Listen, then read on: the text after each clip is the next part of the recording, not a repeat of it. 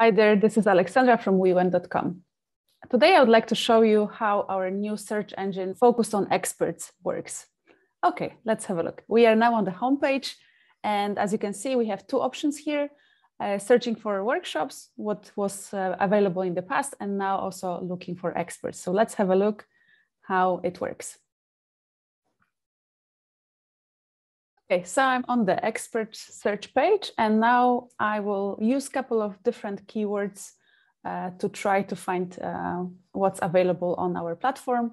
Let's start with one of the hot topics, Agile, and see what will appear on our website. Okay, here we can see uh, quite, a, quite a lot of different profiles coming up uh, with the search uh, for Agile. And uh, some of our facilitators, like me, for example, we have it already down uh, the expertise uh, description. Um, potential clients will be able to then click on a particular profile and understand better um, who that person is and what they do. Let's do another one, uh, inclusion.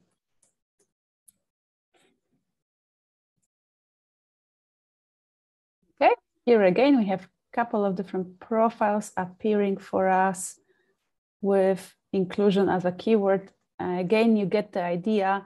Typically, a client searching for a specific topic can look for experts with this expertise, with this keyword in.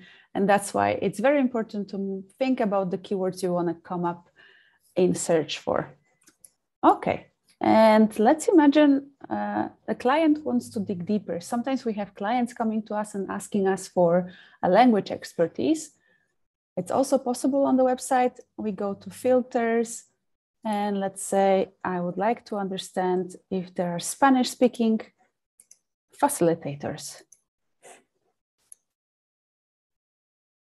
So here we have Andrea and Alessandra coming up in the search as facilitators who speak Spanish. As you see, putting effort into your expert profile is really important. We really believe very often clients come and start with a word, a phrase uh, to search for what's available on the platform. Uh, we'll help you and guide you through your keyword analysis and how to list your profile to appear in the searches. Thanks for watching and see you soon.